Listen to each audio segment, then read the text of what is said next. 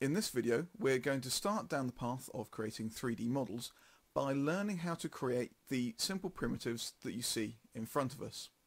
When I want to create primitives what I'm going to do is I'm going to come over here to my command panel. I'm going to click on the create tab.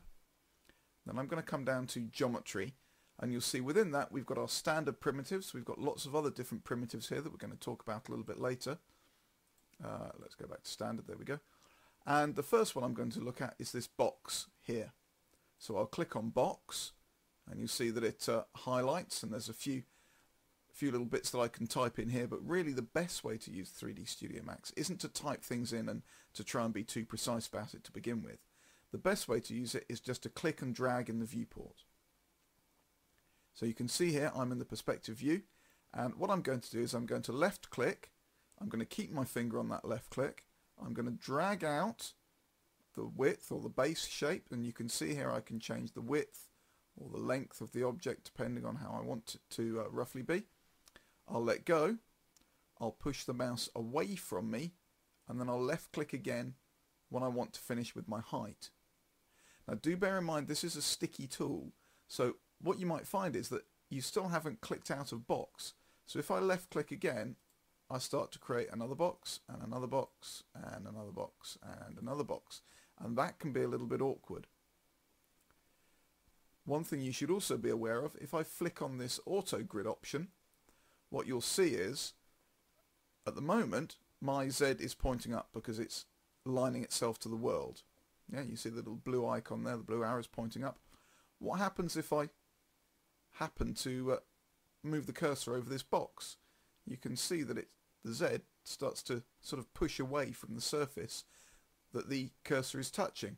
So I could create a new box on top of that one, or I could create another box on the side of this one, and I can add some kind of random detail in here as and how I want. So this can be a really, really useful function for just sort of adding extra little bits of detail into your models without actually having built anything at all. So that's how we create boxes. How do, how do we create the sphere? Well, I'll click on sphere over here and all I'm going to do with that, I'll turn off my auto grid quickly, is I'm going to left click and drag.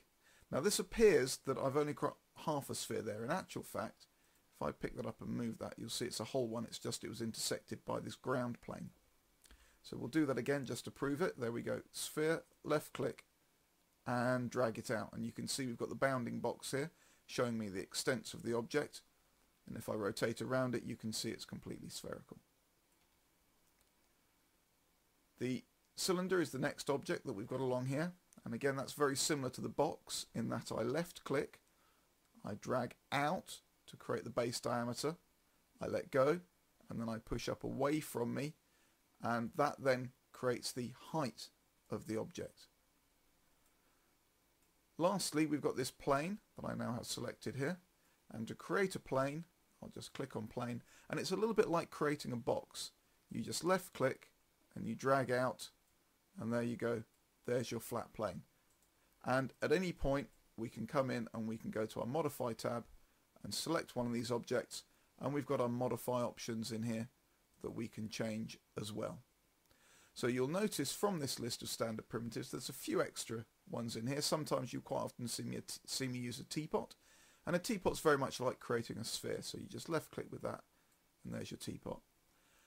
I would advise you to play around with a few of the others. Um, try some of the extended primitives as well. There's some uh, sort of slightly less commonly used objects in there. But pretty much that's how you go around creating parametric primitives inside of 3D Studio Max.